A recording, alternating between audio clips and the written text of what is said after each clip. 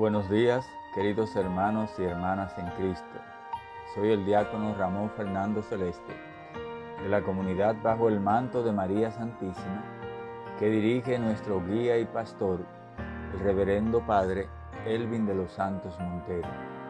Y estaré compartiendo con ustedes el Evangelio de este lunes de la décimo tercera semana del tiempo ordinario, en que la Iglesia celebra la fiesta de Santo Tomás Apóstol.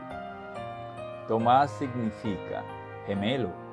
La tradición antigua dice que Santo Tomás Apóstol fue martirizado en la India el 3 de julio del año 72.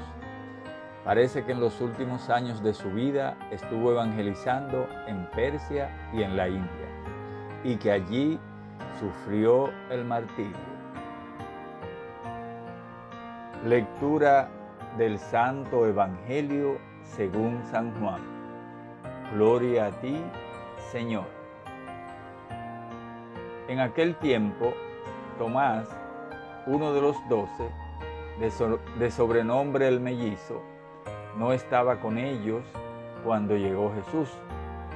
Los otros discípulos le dijeron, hemos visto al Señor. Él les respondió, si no veo la marca de los clavos en sus manos, si no pongo el dedo en el lugar de los clavos y la mano en su costado, no lo creeré. Ocho días más tarde estaban de nuevo los discípulos reunidos en la casa y estaba con ellos Tomás. Entonces apareció Jesús Estando cerradas las puertas, se puso en medio de ellos y les dijo, la paz esté con ustedes. Luego dijo a Tomás, trae aquí tu dedo, aquí están mis manos, acerca tu mano, métela en mi costado. En adelante no seas incrédulo, sino hombre de fe. Tomás respondió, Señor mío y Dios mío. Jesús le dijo, ahora crees porque me has visto. Felices los que creen sin haber visto. Palabra del Señor. Gloria a ti, Señor Jesús. Mis queridos hermanos y hermanas, estamos ante este Evangelio. Vamos a meditar porque pudiera ser que Tomás sea tú, pudiera ser que Tomás sea yo.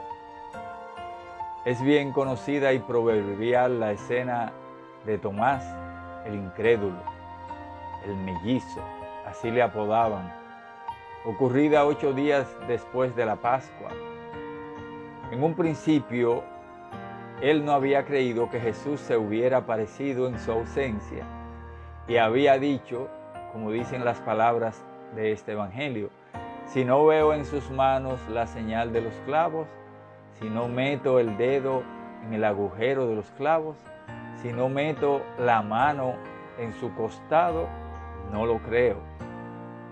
Lo que en el fondo significan estas palabras es que Jesús desde ahora va a ser reconocido no solo por su rostro, sino por sus llagas. Tomás piensa que los signos por los cuales es reconocida la identidad de Jesús son desde ahora y por encima de todo las llagas a través de las cuales se nos revela hasta qué punto nos ha amado Dios. Pero no solo hasta qué punto nos ha amado, sino que son las señales de que ha resucitado y de que está vivo y entre nosotros. En esto el, apóstol no se equivoca.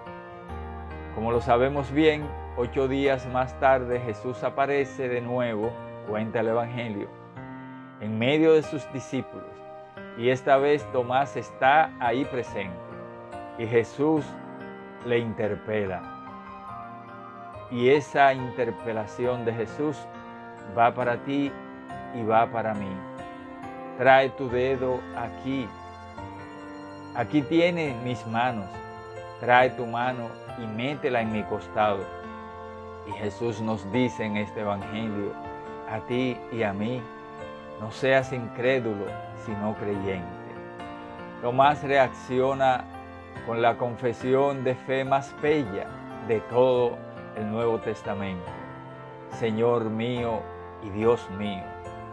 San Agustín comenta respecto a esta escena que Tomás veía y tocaba al hombre, pero confesaba su fe en Dios, a quien no veía ni tocaba.